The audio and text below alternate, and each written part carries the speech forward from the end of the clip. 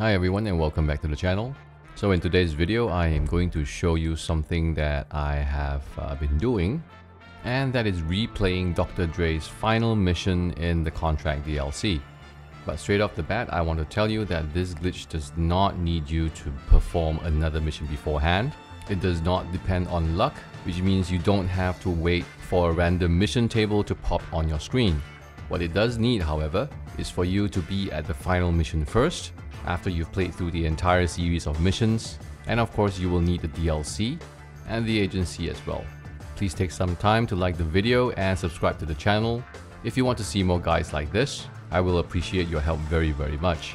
So I'm going to dive right into this finale mission, and this is right at the end when you capture Johnny Guns. Once you capture him, there will be a very long cutscene, and I will be fast forwarding that cutscene.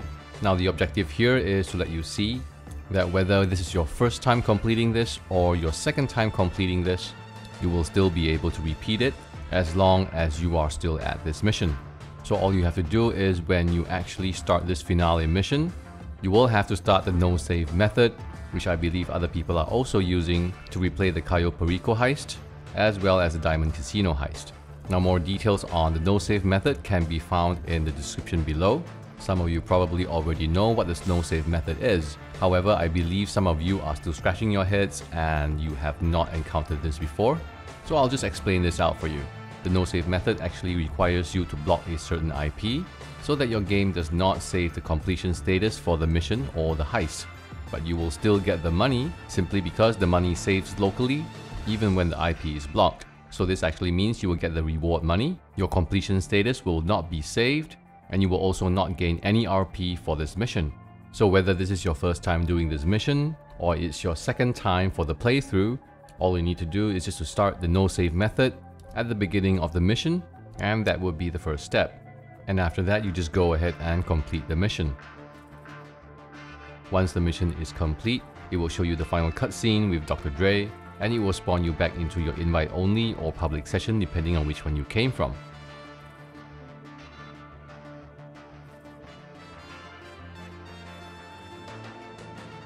Now with your no save method still on, you will see a message on the bottom left that says saving failed. That just means the completion status of the mission is not updated to Rockstar servers. So this means that as far as the game is concerned, you did not complete that mission and you did not gain any RP. If this is your first time doing the mission, you will also receive the award, plus Franklin will call you and say that the mission is completed. So over here, I'm going to just open my bank account and let you see that there indeed was a transaction that added 1 million to my account and that is the amount that you get from completing this. From here you can also take note of the total amount that I have which should remain the same after I switch sessions. But first let's go into story mode so that you can switch off the no save method and unblock the IP.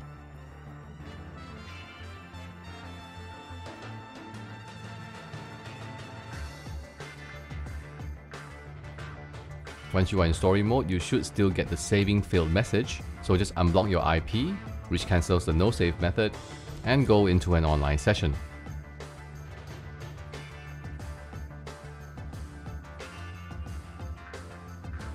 So after you have unblocked the IP and you have come back online, if you still get the saving failed message, just go into the interaction menu, go to style, change an outfit and force a save.